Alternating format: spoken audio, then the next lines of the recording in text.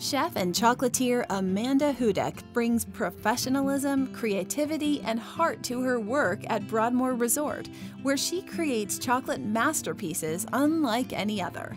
Amanda is passionate about chocolate, often working with hundreds of pounds at a time, and she's eager to share her love with others. She leads chocolate classes both for Broadmoor guests and the culinary staff at the resort. Amanda's love of chocolate and the people that she leads makes her stand out above the rest.